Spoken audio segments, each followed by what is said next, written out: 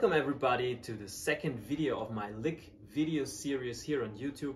And the second lick I want to show you is a lick by one of my favorite drummers, the great Philly Joe Jones.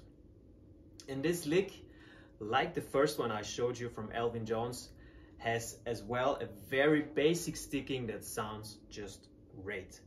And let's just dive straight into it. Um, the sticking is right, left, left, right, left. And it starts on the fore end of the bar and keeps continuing, keeps repeating itself on the second end. So one, two, three, four. And so on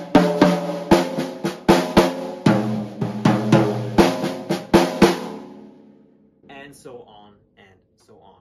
So as you can see, I'm accenting the first note of the phrase and the last two. So it's like right, left, left, right, left, right, left, left, right, left.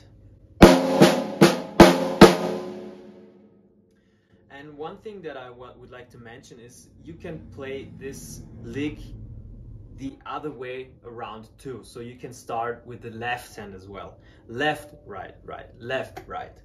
So you can check for yourself what feels feels most comfortable for you and uh, you can just go from there. Have fun practicing.